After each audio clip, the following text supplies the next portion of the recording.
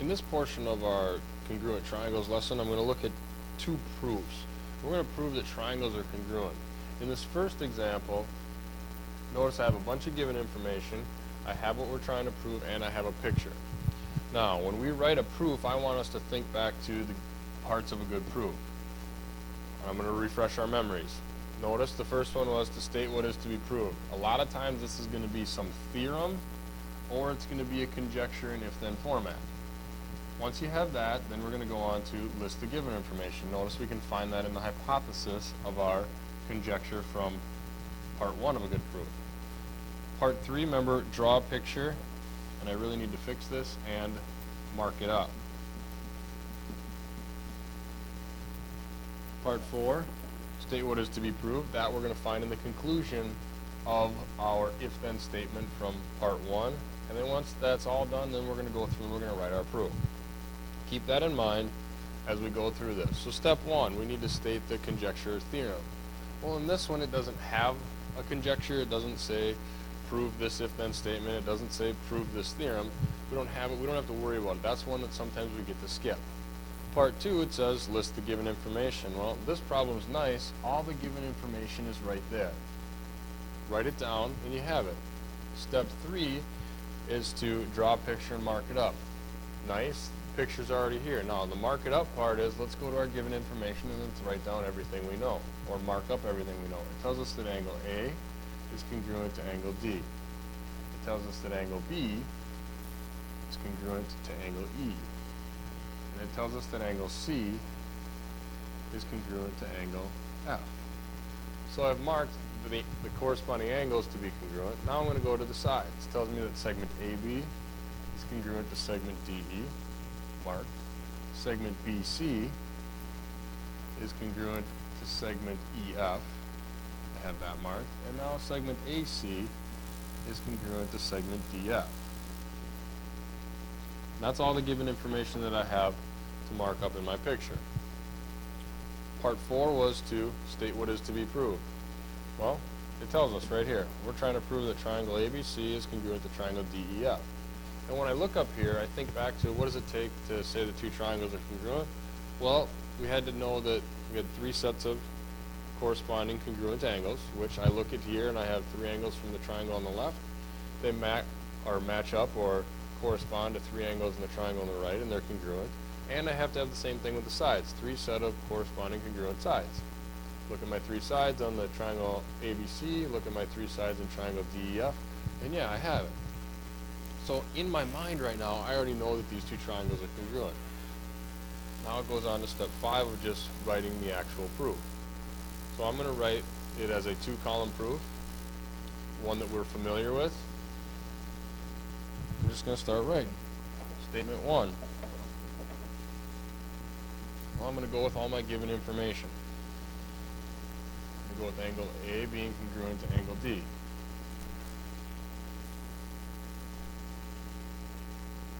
And my reason for that is given. The problem gave it to me. I don't need a reference number for anything that's given. Step two, angle B is congruent to angle, and I believe it was E. I'm going to go up here and double check. Yep.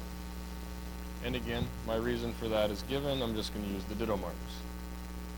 Statement three, angle C was congruent to angle F. And again, that is given. Keep going with all my given information. Now I'm going to move into the sides. So I had segment AB was congruent to segment DE. Reasons over here have been pretty difficult, given.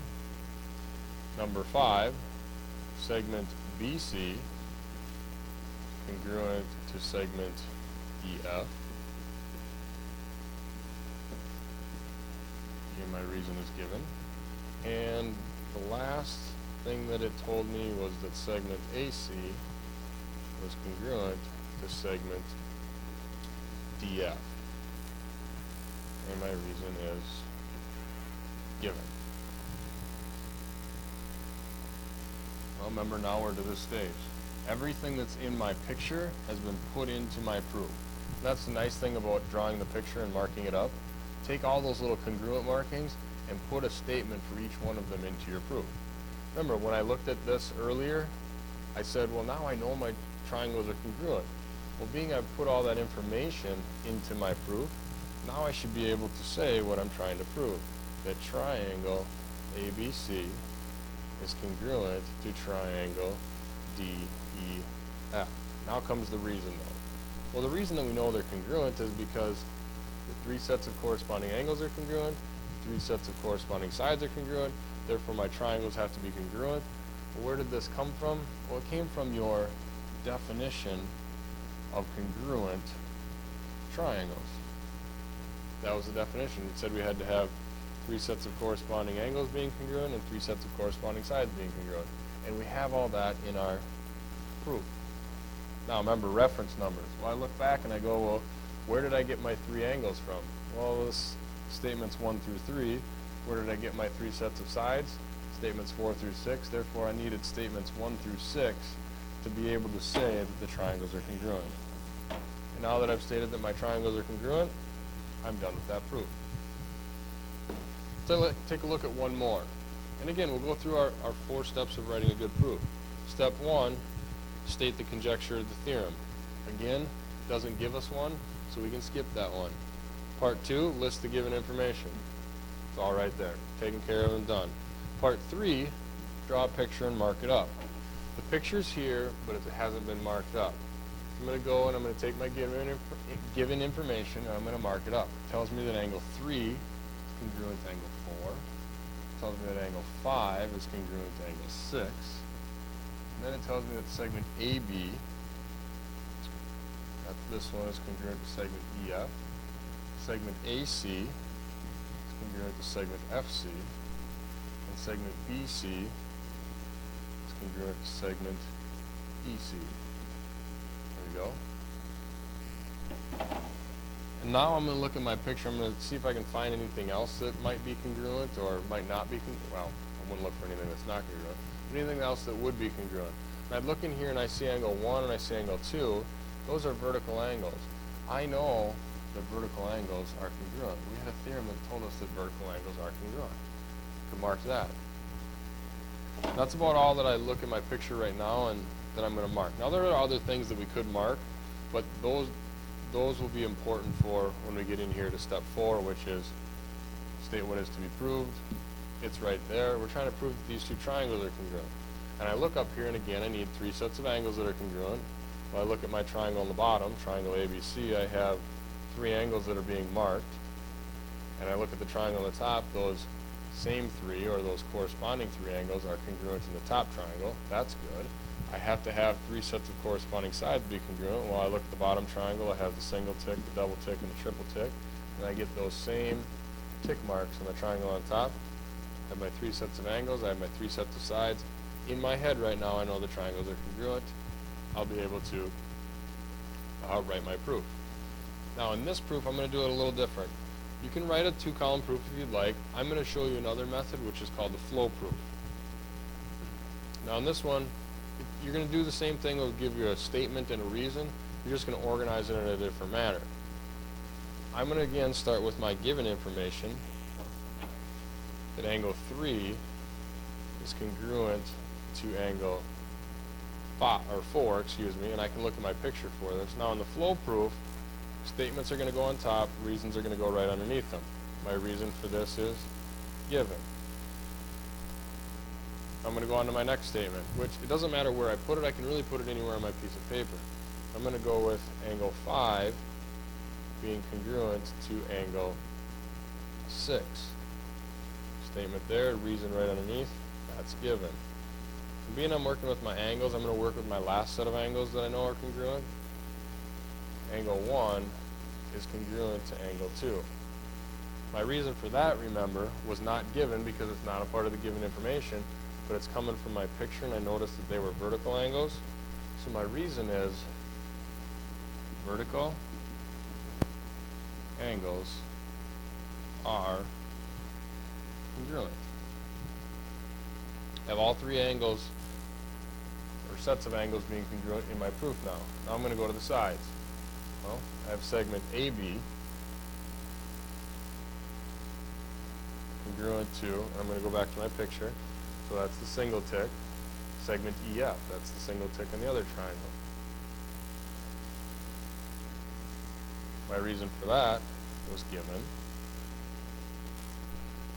Come up to my picture and find another thing, well now I'm gonna look at the double ticks, so that's gonna be segment AC and segment FC being congruent. Segment AC congruent to segment FC. Again, that was another piece of given information. And the last would be my triple ticks of segment BC and segment EC. So segment BC is congruent to segment EC, and that's given. Well, I have my six pieces of information that I need. Now I should be able to say that the two triangles are congruent, which would be triangle ABC and triangle FEC. Triangle ABC is congruent to triangle FEC. And my reason for this, not any different than the last proof that we did. It's our definition of congruent triangles. Notice I'm abbreviating, leaving out some of the small words, using symbols. But now in the flow proof, we need to connect all of the statements that are needed to say another one.